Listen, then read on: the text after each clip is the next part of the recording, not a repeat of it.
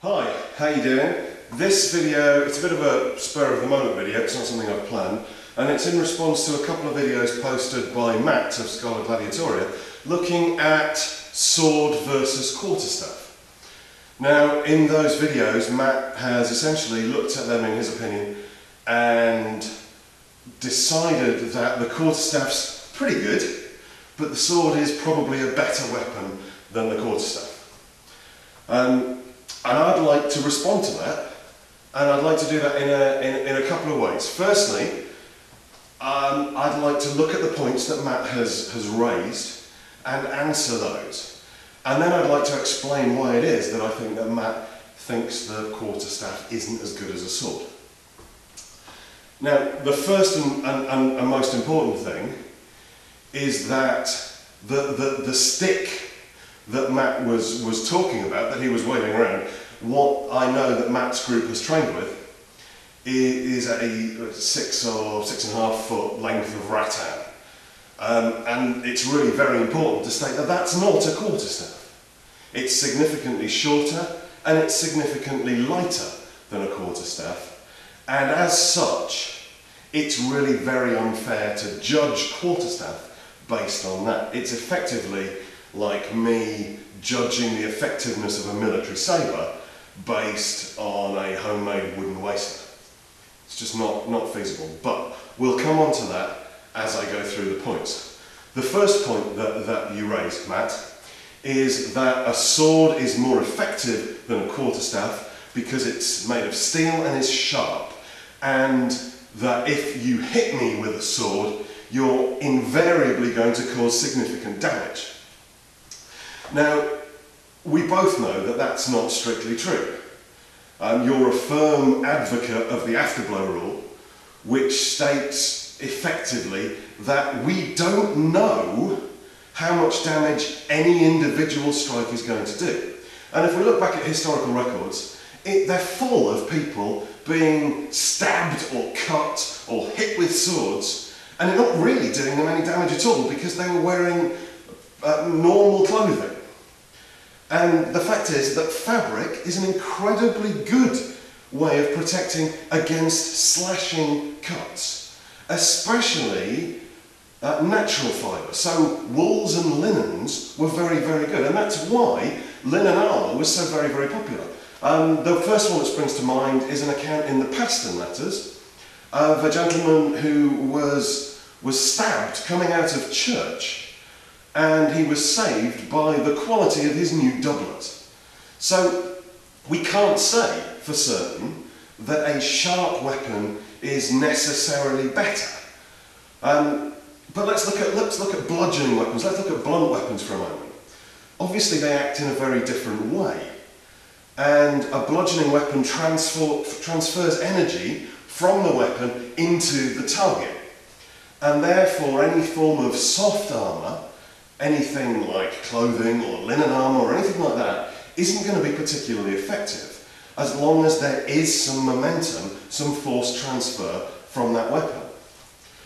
That's why hammers and maces and mattocks and staffs were so popular as weapons. They are very effective weapons and to dismiss the whole concept of blunt weapons not being as good as sharp ones is really to miss the point. Um, and I know you know that.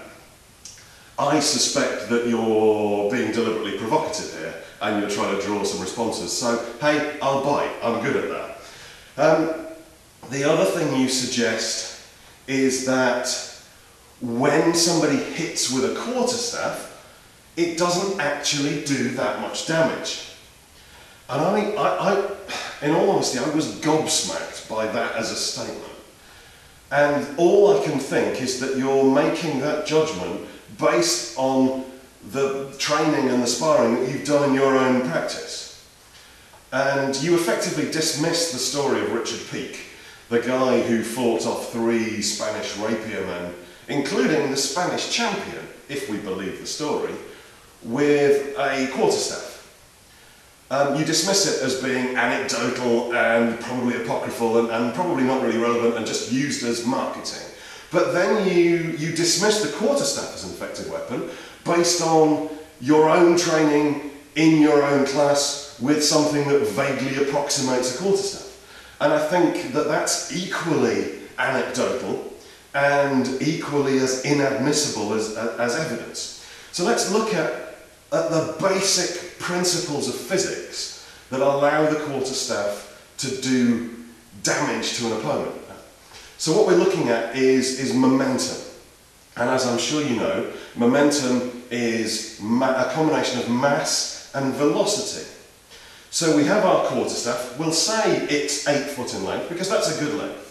Um, a few videos that I've seen recently have shown people holding a, a, a 6 foot staff and saying that this is a quarterstaff. It's not a quarterstaff.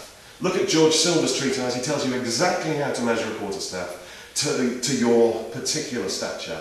And they tend to work out somewhere in the region of eight, eight and a half, maybe even nine feet long. Now, they're very difficult to transport and they're very difficult to use safely. So most people train with shorter sticks. But please don't make the mistake of thinking that those shorter sticks are actually quarterstaffs. They're not. So, if we've got a quarterstaff that weighs, let's say, for the record, we'll approximate it at five kilograms, and it's eight feet long, when that's moving, it's got a certain amount of momentum, and that momentum is significantly bigger than a six foot staff that weighs three or four kilos less. So to suggest that because you can be hit with a rattan stick and it doesn't actually do any damage, means that you can also be hit by an eight foot ash staff, and um, that probably won't do any damage either, is just crazy talk. I absolutely promise you that a good hit from a quarterstaff will break bones. It'll break major bones. It'll break the big long bones of the body. It can break joints. It can break the bones of the knee. It can break ribs. It can damage internal option, uh, organs. It can rupture those organs. It can break the skull. It can knock people clean out.